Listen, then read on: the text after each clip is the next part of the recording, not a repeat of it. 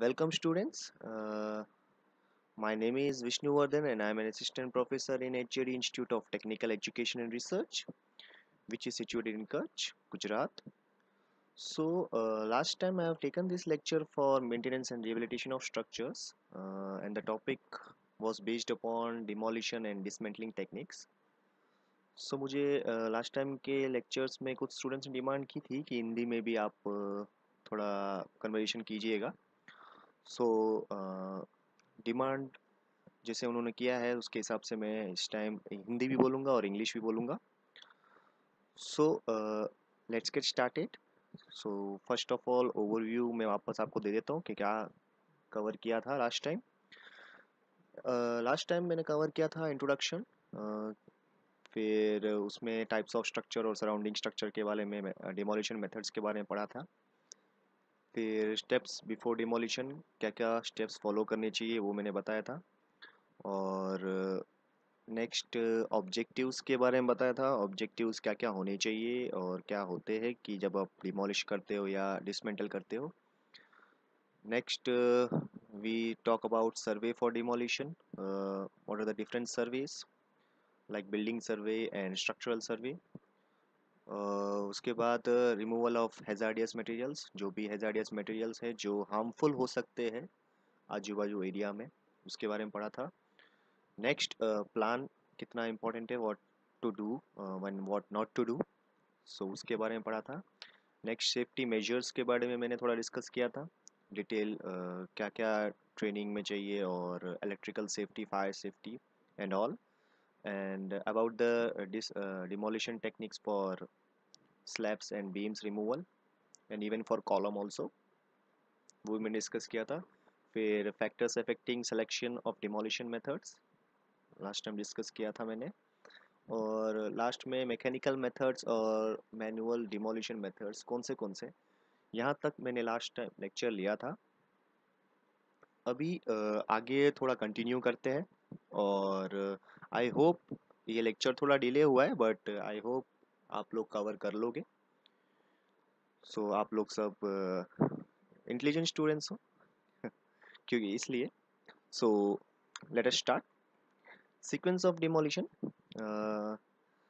what the sequence should be followed क्या क्या sequence आपको फॉलो करना है जब आप डिमोलिशन करते हो? तो उसके बारे में थोड़ा यहाँ पे पॉइंट्स है। So all cantilever structure shall demolish first जो भी कैंटिलीवर बीम्स हो या कैंटिलीवर स्ट्रक्चर्स हो, उसको पहले डिमोलिशन करना है।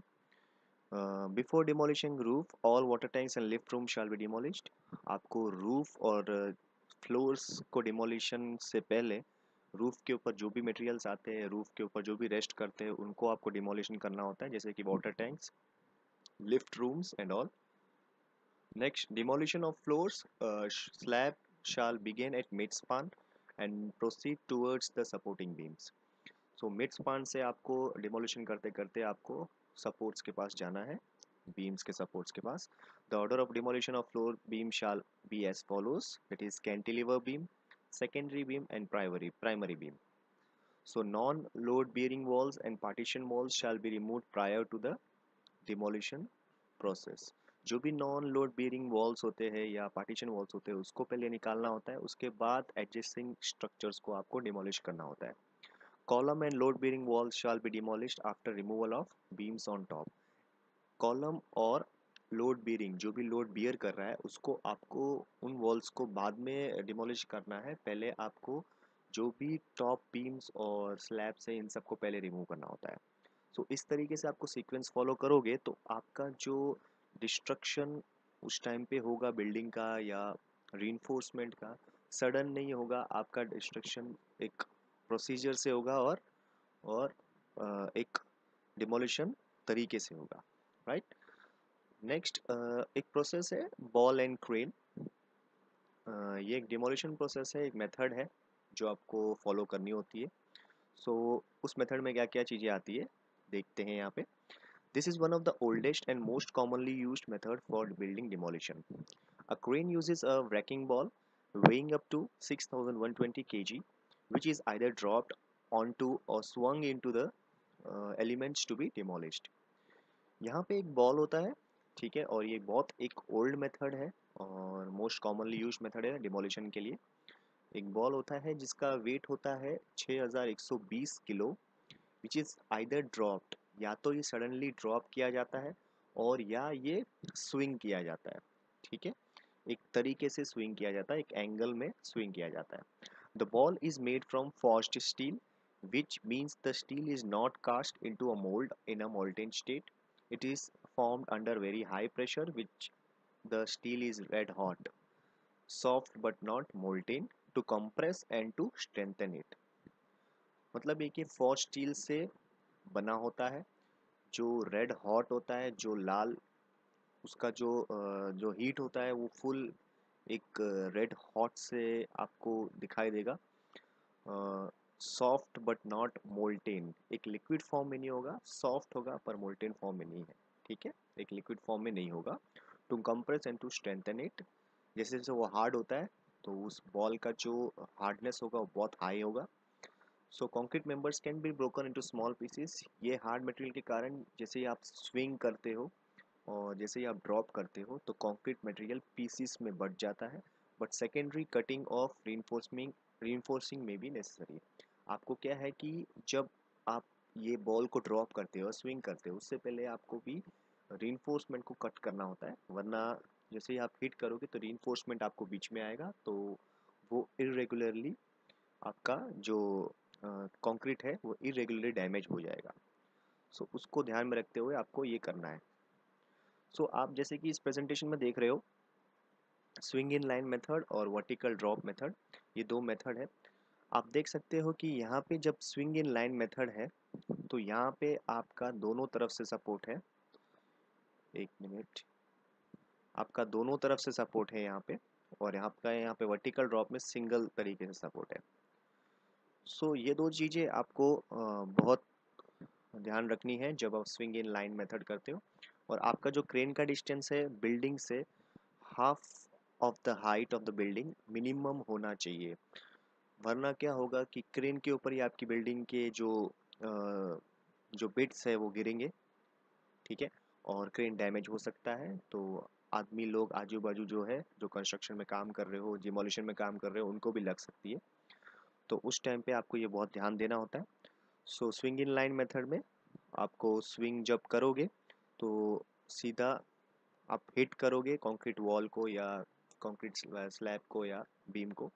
उसके हिसाब से हिट करके आप वो पूरा डिमोलिश करोगे। और वर्टिकल ड्रॉप मेथड में आप थ्री मीटर अबव हाइट लेके जाओगे और उसको ड्रॉप कर दोगे ऊपर से तो धीरे धीरे आप ड्रिल करते जाओगे बिल्डिंग को तोड़ते हुए। नेक्स्ट है इसके एडवांटेजेस और डिसएडवांटेजेस बॉल क्रेन मेथड के एडवांटेजेस और डिसएडवांटेजेस क्या क्या है वो आप देख सकते हो यहाँ पे। Advantages to demolish roofs and other horizontal The wrecking ball are still used when demolition may not be possible due to local environment issues or asbestos or lead building content. So uh, बहुत बार ये देखा जाता है कि ball uh, जहाँ पे local environment support नहीं करता वहाँ पे वैकिंग बॉल का यूसेज होता है। और डिसएडवांटेजेस क्या क्या है इसके? It demands a great deal of skill from the crane operator. The height of the building that can be demolished is limited by crane size and working room However, building as high as 20 stories have been demolished. 20 story तक आप इसको demolish कर सकते हो The breaking process can cause considerable dust, vibration and noise which may be objectionable. ठीक है और ये ब्रेकिंग प्रोसेस में आपको डस्ट वाइब्रेशन और नॉइस बहुत होता है तो ये एक नेगेटिव पॉइंट है बॉल और क्रेन मेथड का। नेक्स्ट टॉपिक है डिसमेंटलिंग व्हाट इज़ डिसमेंटलिंग पहले आप देख ले देख लेते हैं ये चीज़। और सेलेक्टिव और complete demolition of concrete structure is possible by cutting elements and then removing them with a crane. The cutting process may be sawing, water jetting और thermal lens. तो ये तीन प्रोसेस है जिससे आप कटिंग कर सकते हो। और डिसमेंटलिंग का मतलब यही होता है कि आपको पार्ट टू पार्ट रिमूव करना होता है कंक्रीट स्ट्रक्चर को। वो आप ये तीन तरीके से आप कर सकते हो। Because the surface of the cut concrete is smooth and relatively regular These methods have been particularly application when the objective is partial demolition, for instance in the creation of opening in the walls and slabs. तो ये method आपको easy रहेगा। जब आप ये तीन method use करोगे तो आपको कटिंग प्रोसेस इजी हो जाता है। इसलिए आप यूज़ करते हो। So cutting with a water jet minimise dust and eliminates vibration and fire hazards जो इस लाइन में ऐसा बोला जा रहा है कि जब आप वाटर जेट यूज़ करते हो ठीक है when you are using water jets you minimise the dust and eliminates vibration आप मिनिमाइज करते हो जो भी धूल उड़ती है और वाइब्रेशन जो भी होता है उसको आप कम कर देते हो और फायर हैजार्ड्स को भी आप आ, कम कर देते हो। And abrasive and water catching systems is required to clean up during the jetting process so आपको एक अलग तरीके से एक सिस्टम रखनी होती है, जो वाटर कैचिंग सिस्टम होती है, ठीक है, वो आपको रखना होता है, ताकि आजू बाजू जब आपका जेट आप पानी, जब आप थ्रस से आप जब दीवार पे मारते हो या बीम पे आप इंसर्ट करते हो तो वो पानी जब बीम पे हिट करेगा तो वो धीरे धीरे वो जो मटेरियल है उसको अलग करता जाएगा। तो उसके लिए आपको एक वाटर कैचिंग सिस्टम भी रखनी होती है।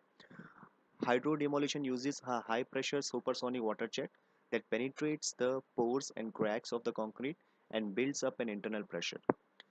so, जैसे जैसे आप पानी का प्रेशर बढ़ाते जाओगे तो वैसे वैसे वो क्रैक्स के अंदर जाएगा पानी और पोर्स के अंदर जाएगा और वाटर प्रेशर इंसर्ट अंदर बढ़ाता जाएगा। When this pressure exceeds the tensile strength of concrete the concrete breaks. जैसे जैसे ये टेंजाइल स्ट्रेस बढ़ता जाएगा अंदर तो कंक्रीट उस उसके टेंजाइल स्ट्रेस से झेल नहीं पाएगा और वो ब्रेक हो जाएगा। The water jet can be used only for cutting straight lines, but also contours contours a feature for cutting access manholes okay so right side आप देख सकते हो वाटर जेटिंग कटिंग हो रही है। जैसे जैसे हीट कर रहे हैं, वो कंक्रीट को कंक्रीट के ब्लॉक को अलग करा, अलग करके ब्रेक किए जा रहे हैं। नेक्स्ट एक thermal lance thermal lance is created by packing a seamless mild steel tube with low carbon rods and passing oxygen through the tube wall this method eliminates vibration and dust problems it creates other hazards associated with smoke and fire danger thermal lance एक ऐसा process है जो mild steel का use करके carbon uh, rods का use करके uh, उसको heat uh, uh, किया जाता है मटेरियल uh, को। और उसका यूज़ करके आप स्मोक और फायर डेंजर को एनहांस करते हो, बट वाइब्रेशन और डस्ट नहीं होता है यहाँ पे, ठीक है? वेदर सॉइंग जेटिंग और lancing is use to dismantle the structure और its components each elements must be safely lower to the ground आप यूज़ तो कर सकते हो सॉइंग जेटिंग और लेंसिंग बट आपको सेफली ग्राउंड तक लेके आना है बिल्डिंग को जब आप डिसमेंटल कर रहे हो तो उसके लिए अलग अलग मेथड्स में अलग अलग आपको प्रिकॉशंस लेने होते हैं, ठीक है? वो यहाँ पे बताया है। थर्मल लेंसिंग आपको देख सकते हो पिक्चर्स में और सोइंग मेथड भी। ये किस तरीके से आपको कट किया जाता है वो भी आप देख सकते हो। आपके बिल्डिंग को कट किया जाता है वो आप देख सकते हो यहाँ पे पिक्चर में। What are the advantages and disadvantage of dismantling methods dismantlement of building components especially specifically for reuse recycle and waste management reduce disposal cost where uh, waste collection hauling or disposal is supported by the tax base. Uh, building components that are dismantled will need to be restored in a secure dry location. This will protect them from water damage and theft. Uh, ये advantages है इसके reuse recycle आप waste management भी कर सकते हो और cost को भी कम कर सकते हो टैक्स के अलावा जो भी कॉस्ट होता है वो आप इसमें से कम कर सकते हो। Building components that are dismantled will need to be restored in a secure dry location you can store easily आप कंपोनेंट्स को इजीली स्टोर कर सकते हो। This will protect them from water damage and theft चोरी से और आपको water damage से आपको बचा सकता है। डिसएडवांटेजेस क्या है? The amount of time and cost of labour are the main drawbacks आपको कॉस्ट बढ़ जाता है यहाँ पे और लेबर कॉस्ट भी बढ़ जाता है। Harvesting materials from a structure can take weeks whereas demolition may be completely in रफली अ डे या तो आपको बहुत ज़्यादा समय लग सकता है और या तो ये जल्दी भी ख़त्म हो सकता है एक दिन में भी। Toxic waste such as asbestos, sheets and lead paints have no resale value so they are discarded. तो जो भी टॉक्सिक वेस्ट होंगे इसके थ्रू जो भी जनरेट होंगे उसका कोई वैल्यू नहीं होता तो वही हिसाब से आपका रीसेल वैल्यू नहीं होगा। नेक्स्ट है pneumatic and hydraulic breakers pneumatic means air compressor का यूज़ किया जाता है इसमें। Common piece of equipment use for demolishing bridge decks foundation and payments अलग अलग स्ट्रक्चर के लिए स्पेशल स्ट्रक्चर के लिए यूज़ होता है, ठीक है कैसे होता है? Use as a hydraulically or pneumatically operated boom mounted breaker. The advantages of machine mounted breaker may include a telescopic boom for easy reach and remote control operation and underwater demolition capabilities. So so, अलग अलग आपके capabilities के हिसाब से आपको use करना होता है स्पेशल स्ट्रक्चर्स में some of the smaller remote control machines can be lifted through window openings and used inside a building to demolish floors and walls.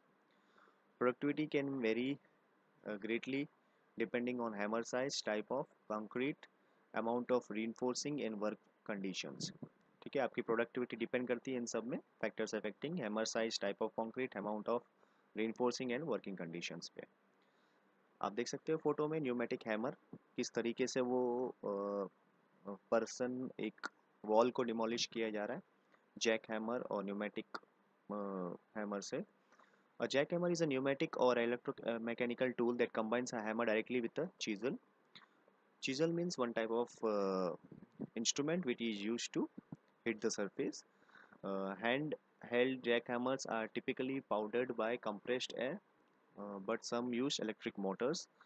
So jackhammers जो होते हैं वो पाउडर कर पाउडर हो जाते हैं किससे कंप्रेस एयर से electric powered tools come in a variety of sizes from about 12 lbs 12 pounds to 65 pounds uh, ये इसका साइज़ है they require an electric external power source but do not require compressor external power source की ज़रूरत पड़ती है पर compressor की नहीं ठीक है hydraulic jackhammer typically much larger than the portable ones may be fitted और मैकेनिकल एक्सकेवेटर्स और backhoes and is widely used for road work quarrying and general demolition और कंस्ट्रक्शन ग्राउंड वर्क एक हाइड्रोलिक जैक हैमर वो होता है, जो portable भी होता है, आप इजीली उसको लेके जा सकते हो और उसको यूज़ कर सकते हो for road work for dust dust को आपको हाउल करने के लिए डिमोलिश करने के लिए कंस्ट्रक्शन ग्राउंड वर्क को they are used in mines where there is an explosive risk since they lack any high power electrical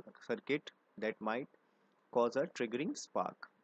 The jackhammer is connected with hydraulic hoses to a portable hydraulic power pack, either a or a diesel engine driving a hydraulic pump.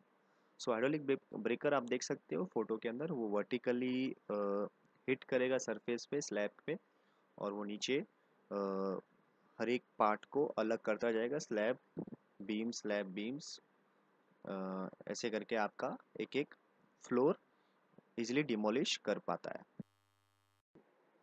Pressure bursting होता है ये है which can be used in cases where relatively quiet dust free control demolition is preferred जहाँ पे भी relatively quiet dust free control demolition आपको चाहिए, ठीक है? वहाँ पे ये प्रेफर करते हैं। Both mechanical and chemical pressure bursting split the concrete mechanical process भी है और केमिकल प्रोसेसेस भी है। दोनों का यूज़ किया जाता है।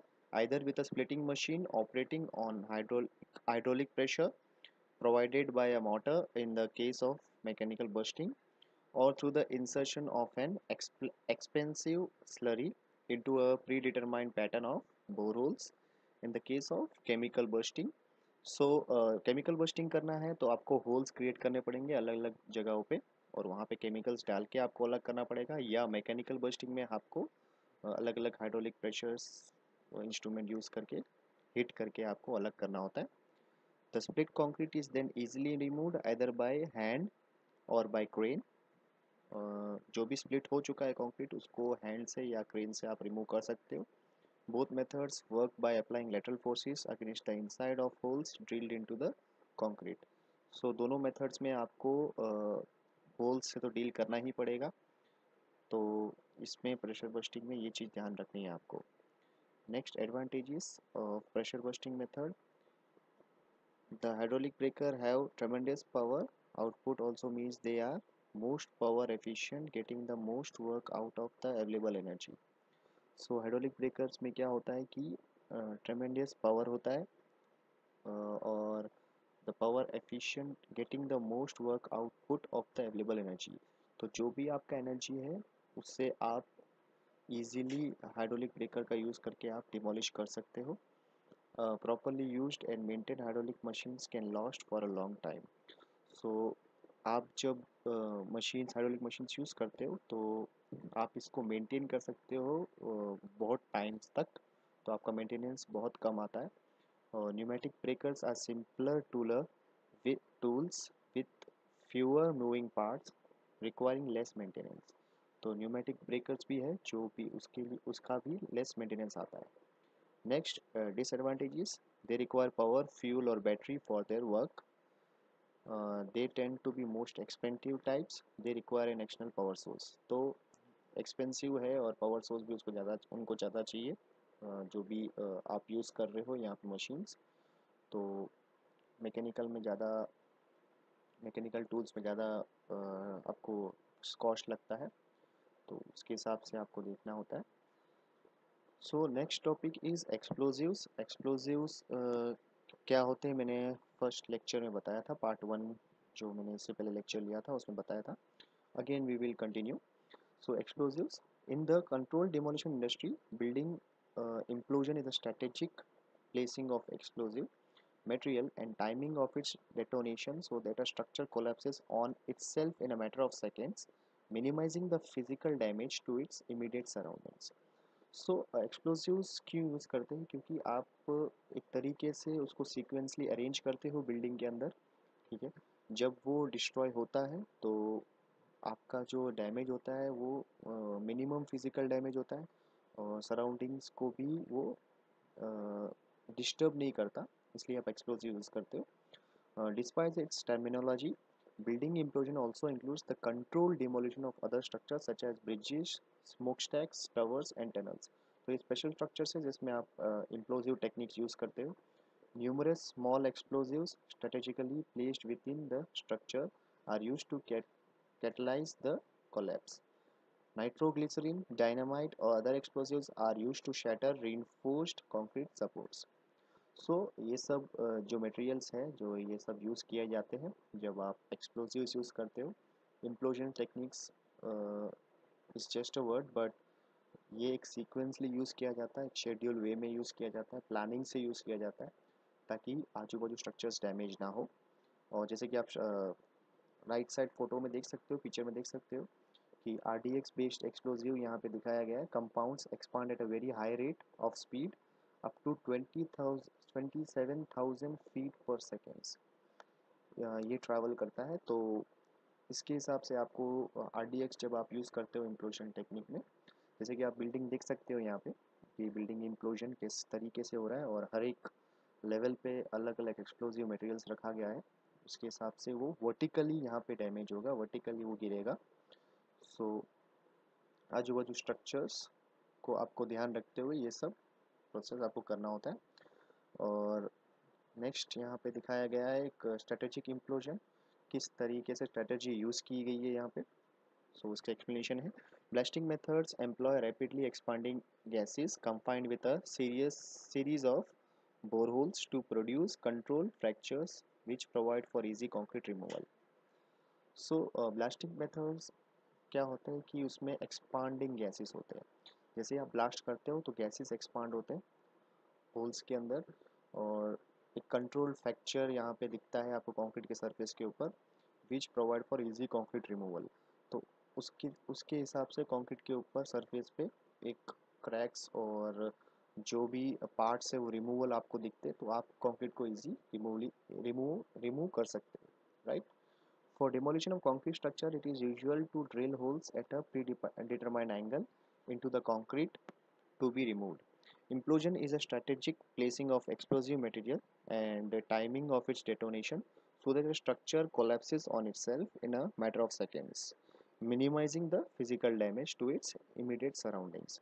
so, जैसे कि इम्प्लोजन मैंने बताया था कि डैमेज आजू बाजू सराउंडिंग्स को ना करते हुए आप एक प्रोसीजर्ड वे में आप डिमोलिश करते हो तो इम्प्लोजन टेक्निक को आप यूज़ करते हो उस टाइम पे द टेक्निक वीकेंस और remove critical supports so that the building can no longer withstand the force of gravity and falls under its own weight यहाँ पे प्रोसीजर में क्या होता है कि जैसे ही आप ये इम्प्लोजन यूज़ करते हो तो बिल्डिंग को उसके सेल्फ वेट के हिसाब से डैमेज करते हो, ना कि कोई एक्सटर्नल फोर्स के हिसाब से, ताकि बिल्डिंग डैमेज उसके स्ट्रेंथ से ना हो, उसके फोर्स के कारण हो, खुद ही तो आपका इसमें स्ट्रेंथ मेंटेन रहता है स्ट्रक्चर के पार्ट्स का।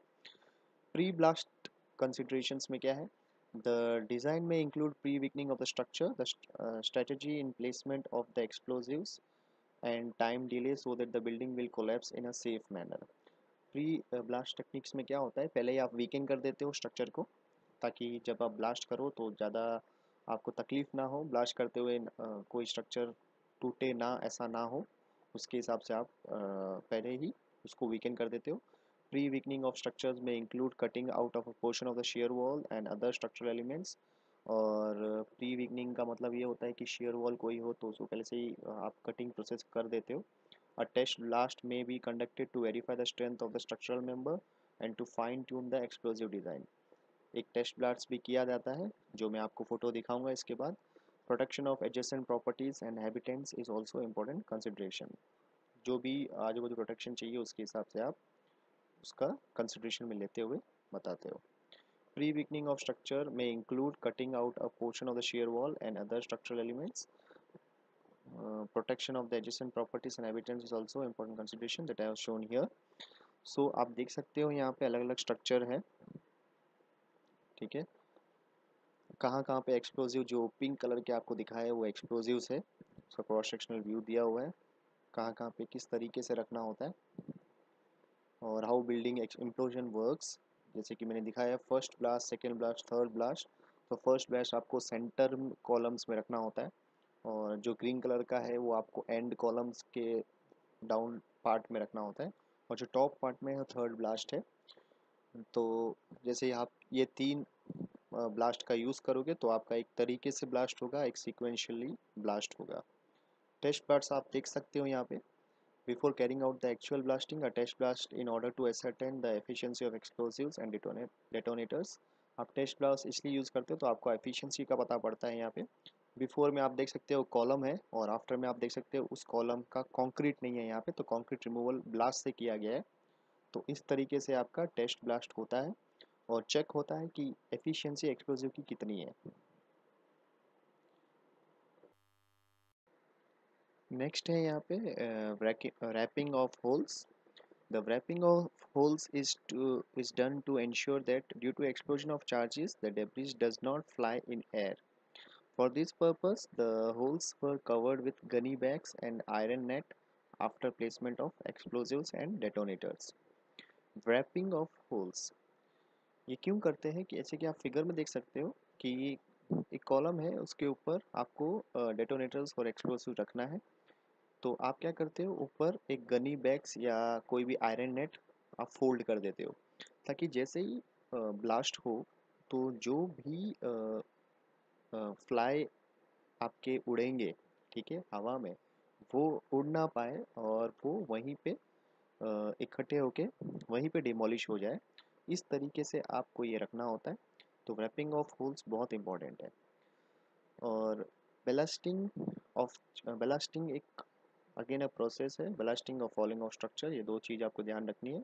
ब्लास्टिंग ऑफ़ चार्जेस और explosive work are carried out in a controlled manner such that there will be a time gap of one by hundred seconds between two successive blast जब आप blast करते हो तो एक blast के बाद आपको वन बाय हंड्रेड सेकेंड्स आपको रखना होता है। ठीक है, एक गैप रखना होता है, जैसे कि आपने पाँच मिनट का आपने पाँच मिनट किसी ब्लास्ट के लिए आपने रखा तो 300 सेकेंड्स बाई हंड्रेड सेकेंड्स तो आपको उस तरीके से आपको ब्लास्ट के लिए तीन ब्लास्ट करने पड़ेंगे, पाँच मिनट के दरमियान।